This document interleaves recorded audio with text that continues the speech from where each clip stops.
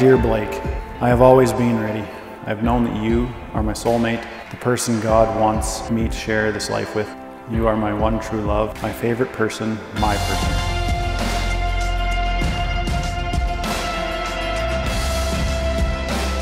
I knew you were my love at first sight. Honestly and truly, I knew that I loved you.